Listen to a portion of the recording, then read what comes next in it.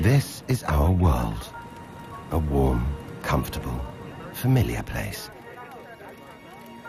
But walk away from the fire and look up. Our thoughts soon leave home. Are we just insignificant specks? Is the universe welcoming or hostile? We could stand here forever, wondering.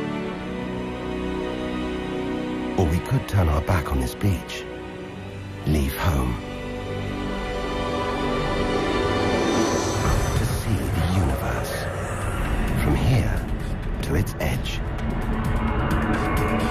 To discover its wonders.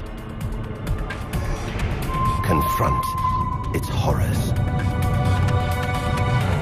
Beautiful new worlds. Malevolent dark forces.